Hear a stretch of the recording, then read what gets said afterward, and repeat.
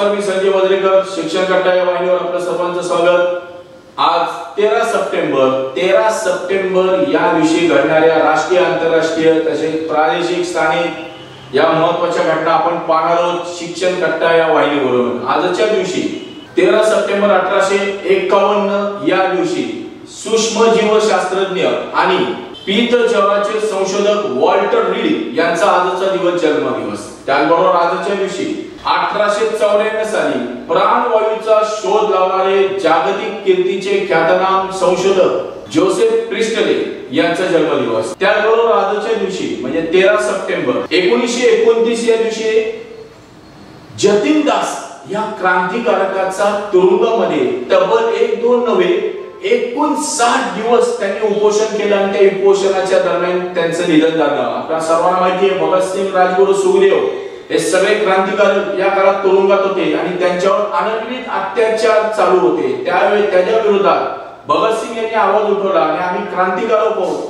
कोणी गुन्हेगार दरोडेखोर नाही होत.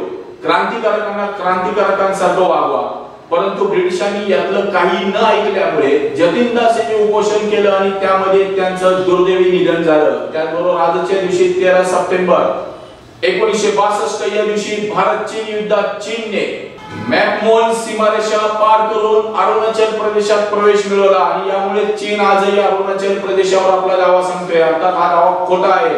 हे साऱ्या जगाने आता ओळखलेला आहे.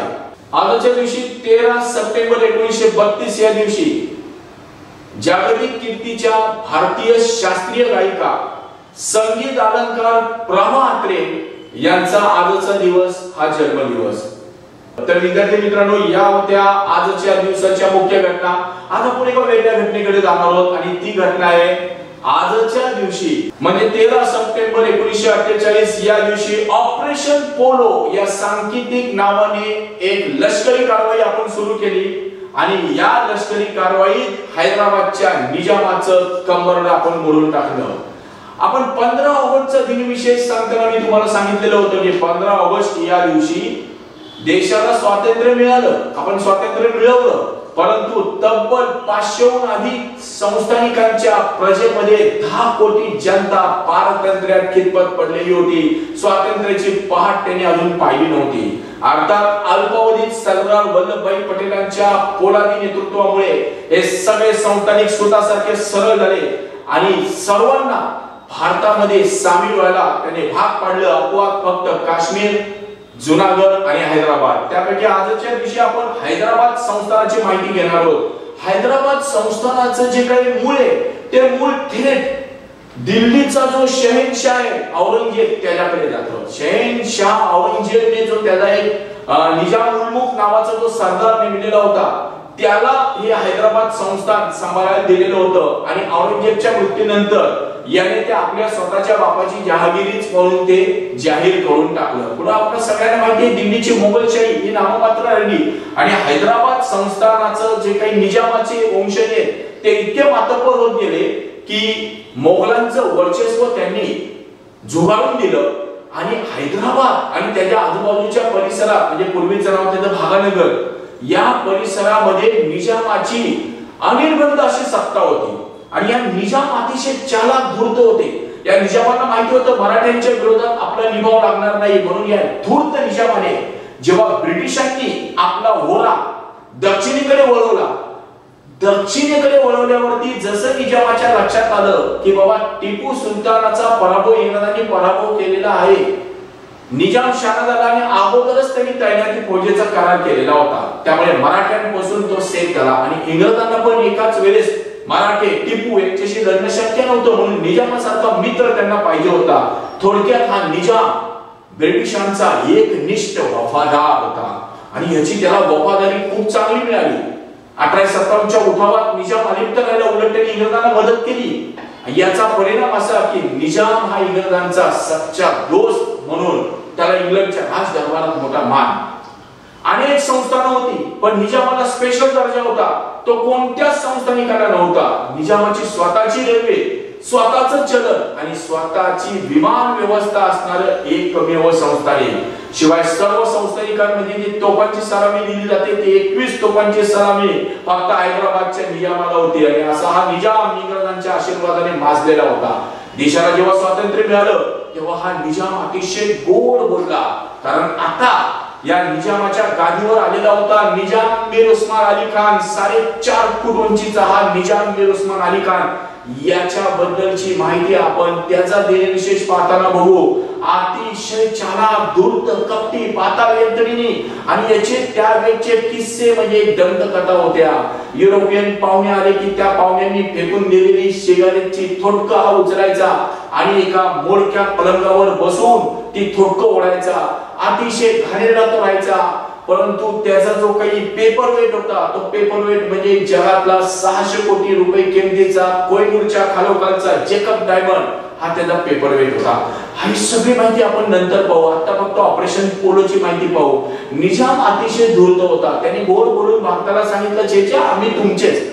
पण अल्पावधीत त्याने आपले रंग दाखवायला सुरुवात केली. कारण त्याला जो एक साथीदार मिळालेला होता कासिम रजवी याने त्याला स्वप्न दाखवली अरे तू निजाम औरंगजेबचा वारसदार. अरे तू हैदराबाद काय करतो? आता इंग्रज गेले दिल्लीवर तुझी सत्ता चालली पाहिजे. आणि निजाम सुद्धा या गोष्टीला बळी पडला. या निजामाने आणि त्याच्या या रजाकाराने आणि त्याला खतपाणी असणाऱ्या या कासिम रजवीने हिंदूंवर अनन्वित अत्याचार केले. या अनन्वित अत्याचार करताना त्याने जे राष्ट्रप्रेमी मुस्लिम होते त्यांना सुद्धा त्याने सोडलं नाही.